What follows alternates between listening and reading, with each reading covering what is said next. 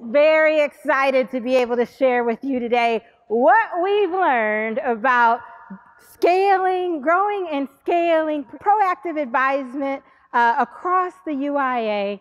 Um, it's been a really wonderful experience.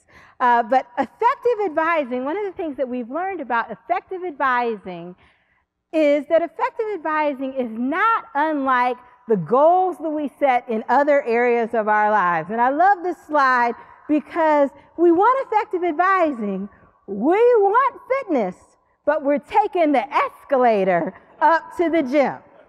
Right? And that suggests that perhaps we might need to have a bit of a mindset shift in order to be effective. What we've seen is that we need this mindset shift because the challenge in front of us is great. This is data from uh, Complete College America, a report that they did a couple of years ago, that shows that really a minority of students graduate in four years. A minority of students experience really, you know, what we rep, what we uh, say that we're going to do, that they're going to graduate in four years. They don't graduate in four years, and not only do they not graduate in four years, but when they graduate, they often graduate with well above the 120 credit hours that they need. Estimates are that even three credit hours above the 120 equals $1.5 billion in costs to the students. More problematic is that these costs are not borne equally across all students or across all sectors of society.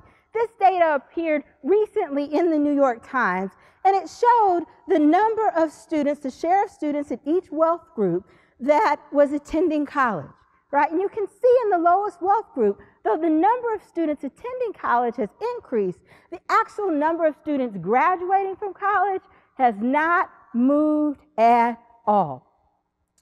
We saw when we looked at academic advisement at Georgia State that we had some mindset challenges. One of the things that we do in the UIA is share our failures. And when we looked at what we were doing ac- academic advisement a couple of years ago, we found that we were spending a disproportionate amount of time with students whose material outcomes were not impacted at all from the work that we were doing. We were spending a lot of time with students who had A's and B's, who would probably graduate from the university, and a lot of time with students who had D's and F's, who it's going to be a struggle for them to graduate from the university.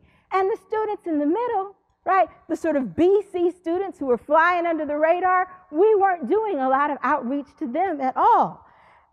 And worse than that, when we really looked at the data, we were actually giving students bad information. What we mean by that? If you look at you know, this, this particular slide, if you look at students who were going to major in political science and look at the grades that they earned in their first political science class, if they got a C in their first political science class, their probability of graduating dropped by more than 50 points uh, compared to the students who got an A or a B. And what have we traditionally done with students who get C's in their courses? Absolutely nothing, right? Because C's get degrees, we just pass them along. This data suggests that that's not an effective strategy at all. And it's into this environment that we launched MAPS, measuring, advising analytics to promote student success. But measuring, advising analytics to promote student success is a first in the world grant, a $9 million first in the world grant from the Department of Education to all 11 schools of the University Innovation Alliance. And what those 11 schools agreed to do is for 10,000 first generation and low income students uh, roll out proactive, predict, proactive advisement based on predictive analytics for these students to see if thinking differently about advisement would produce better outcomes for those students. The key components to MAPS advisement include personalized academic maps, regular monitoring of students for on-track status, so actually laying out what are the degree plans for these students. right? And can they finish those? How can they finish those in four years? And then whenever we see a sign that they may be going off track, actually reaching out to those students so that we can get them back on track.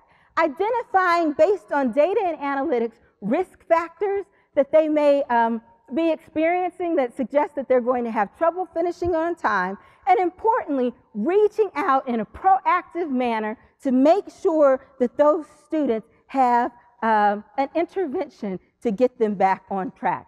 It's basically the difference between having a map and being dropped in the middle of a city with a map and having a GPS, which will take you turn by turn, direction by direction to make sure that you get to your destination. And if you don't make the right turn, if you make a wrong turn, if you take a wrong class, it immediately starts recalculating so that you can meet your uh, uh, reach your destination and the student can earn a degree successfully.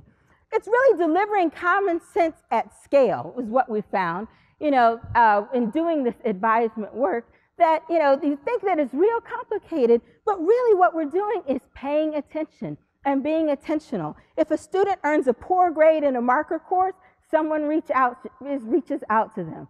If a student doesn't register for the right class, someone reaches out for them to them. If the student registers for the wrong class, again, someone reaches out to them.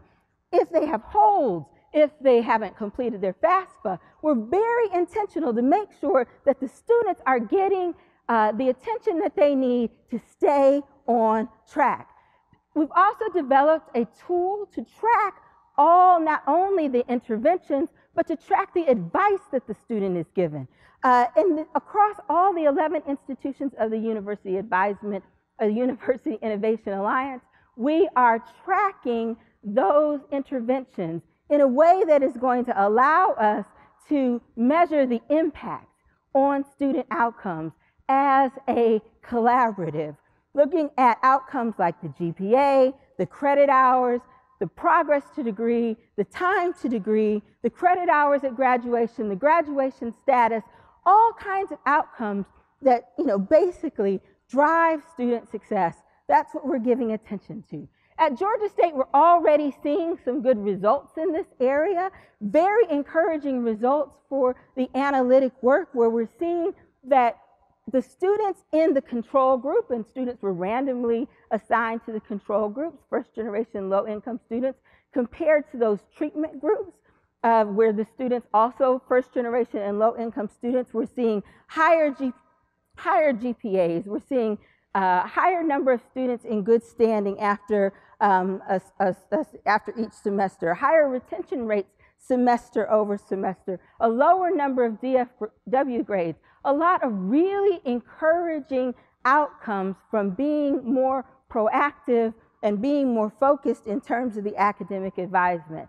And we're doing this work across all the institutions of the University Advising Alliance, University Innovation Alliance, because we see, uh, and what, what the University Innovation Alliance has been saying, that when universities collaborate, students win right? When universities collaborate, students win, and we're already seeing these outstanding outcomes at Georgia State, and we are um, looking to see these kind of outcomes at other schools as well. Thank you so much.